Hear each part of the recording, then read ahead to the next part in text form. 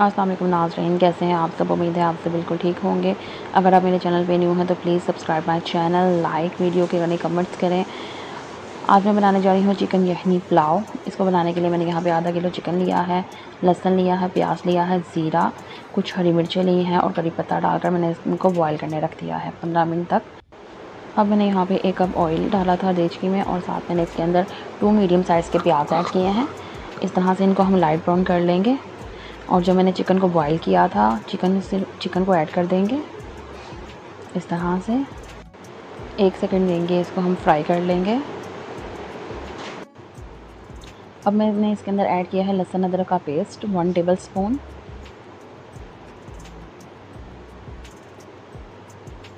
इस तरह। साथ ही इसके अंदर चॉप की हुई हरी मिर्चें ऐड करेंगे टू अदर इस तरह से। अब इसको दो से तीन मिनट देंगे।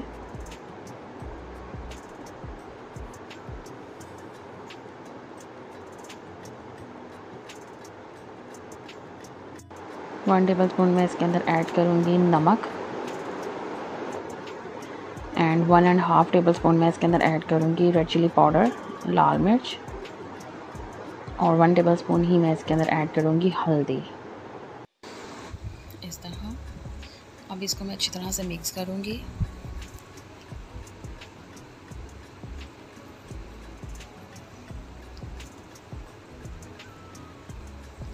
साथ ही इसके अंदर मैं दो मीडियम साइज़ के टमाटर ऐड करूँगी। मैंने टमाटर को चॉप कर लिया था। हमारा पुलाव बहुत टेस्टी और बहुत मज़े का बनेगा। आप इस तरह ज़रूर ट्राई कीजिएगा। बहुत टेस्टी बना था ये। ये देखिए।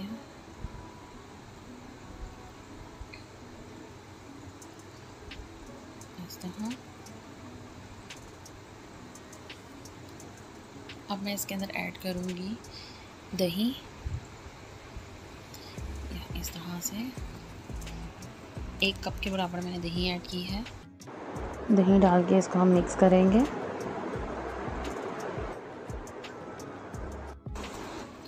अब मैं इसको 15 मिनट के लिए पकने रख दूँगी। ये देखिए 15 मिनट हमारे हो चुके हैं और आपके सामने हमारी योगर्ट अच्छी तरह खुश्क हो चुकी है। अब इसके अंदर मैं ऐड करूँगी गरम मसाला one tablespoon one tablespoon ही सूखा धनिया पाउडर एंड ज़ीरा वन टेबल स्पून और इसको हम फिर सात से आठ मिनट के लिए इसको भूनेंगे। इस तरह से ताकि हमारे मसालों की अच्छी सी खुशबू आ जाए और अच्छा सा फ्लेवर आ जाए। ये देखें अब मैं इसके अंदर ऐड कर दूँगी यखनी।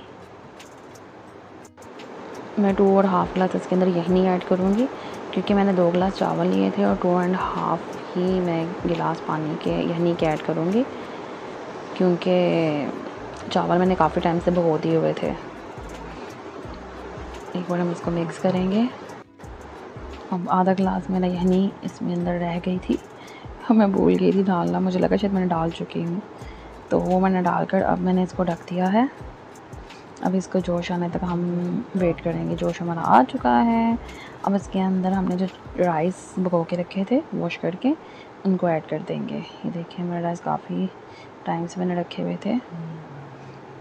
देखने से ही राइस को पता लग जाता है।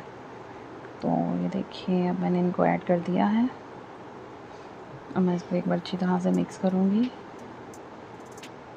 इस तरह।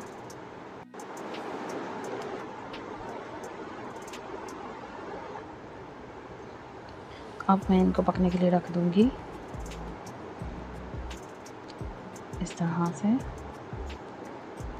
देखिए। देखिए हमारे राइस कितने अच्छे तरीके से हो गए हैं।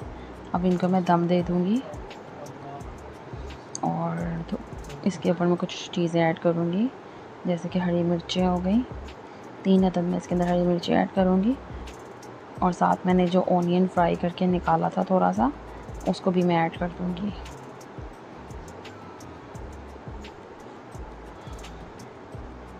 इस तरह से। मैंने ऑनियन जब फ्राई किया था और थोड़ा सा उसको गार्निश के लिए निकाल लिया था। इससे दम के टाइम ऐड करें तो बहुत अच्छी खुशबू आती है। अब इसको हम दम दे देंगे। इस तरह। कम अज़ कम इसको पंद्रह मिनट के लिए हम दम देंगे। हमारे पंद्रह मिनट हो चुके हैं। ये देखें, माशाल्लाह से हमारे राइस बिल्कुल रेडी हो चुके हैं और कितनी अच्छी खुशबू आ रही है और कितना अच्छा कलर आया है। देखिए कितने ज़बरदस्त बने हैं। और बिल्कुल अलग अलग राइस हैं। ये देखिए, बिस्मिल्लाहिर्रहमानिर्रहीम। कितने ज़बरदस्त हमारे राइस बने हैं। आप भी ज़रूर बनाइएगा और ज़रूर बताइएगा कैसे बने हैं। अगर आप मेरे चैनल पे न्यू हैं तो please subscribe my channel bell icon के बटन को प्रेस कीजिएगा ताकि मेरी आने वाली वीडियो आपको न्यू उसका नोटिफिकेशन आपको आए। हर वीडियो को लाइक कीजिएगा। थैंक्स फॉर वॉचिंग अल्लाह हाफिज़।